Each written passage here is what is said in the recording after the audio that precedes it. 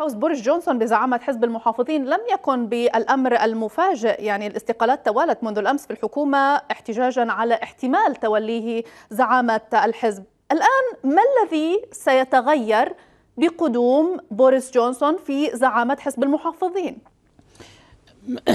لن لن يتغير الكثير الحزب والدولة والحكومة تسير باتجاه واحد وهو الاصطدام بحائط الخروج من الاتحاد الأوروبي، هناك حائط ضخم كبير جدا وهذا الحائط لم تفلح الحكومة السابقة ولا رئيسة الحكومة بأن تتخطاه. وبالتالي نحن نتوقع أن تصطدم أيضا هذه الحكومة بقيادة جيريمي بقيادة بوريس جونسون في حائط الخروج. ليس هناك ملفات كثيرة يتم الحديث عنها طبعا باستثناء الملف الإيراني لكن في موضوع الخروج بالتحديد لا أرى أن هناك أي تغيير سيحصل على اعتبار أن المواقف المسبقة لبوريس جونسون معروفة.